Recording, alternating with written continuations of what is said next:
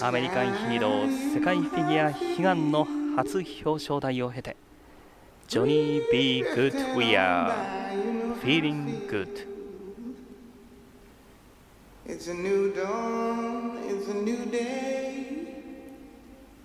It's a new life for me yeah.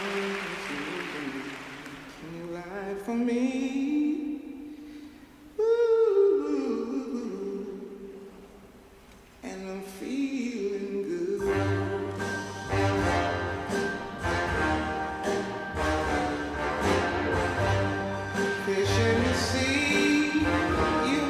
さん、世界選手権、この前の大会で、あれが初めての表彰台だったというのが、ちょっと意外なような感じがするんですかね。あそうですね、まあ、それだけ男子も戦って表彰台に上り詰くまではとても大変だということだと思うんですけれども。ただ、今年の世界選手権はロサンゼルスで行われるんですね、まあ、そういった意味でも北米の選手たち、まあ、特にアメリカの選手たちはにとっては有利に働くんではないかなという気もするんですけれども、まあ、まだあのライサチェック選手もいますしね。アメリカ国内の戦いも熾烈なものになるんではないでしょうかね。日本選手たちにとっても本当に強力なライバルです。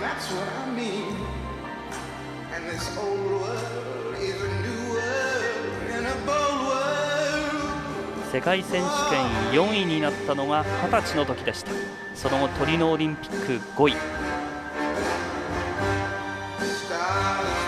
表彰台にしかし上がったのはつい先日3月スウェーデンの舞台でした。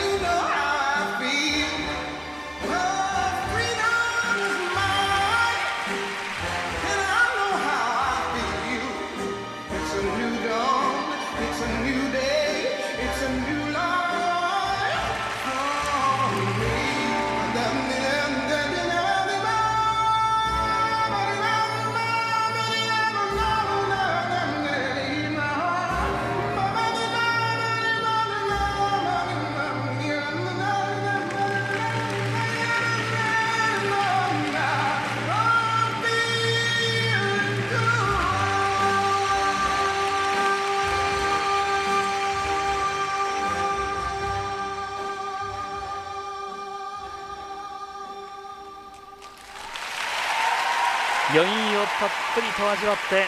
来週の水曜日7月2日が24歳の誕生日。一足先に日本のファンから温かいバースデープレゼントということになりました。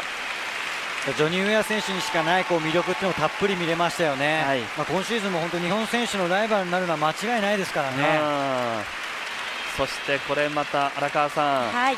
女性ファンが多いんですよ日本にもね。そうですね、えー、あのジョニー選手は非常に姿勢もいいですしスケートがおしゃれだなっていつも感じますね。踊るセンスもありますしスケーティングも綺麗ですし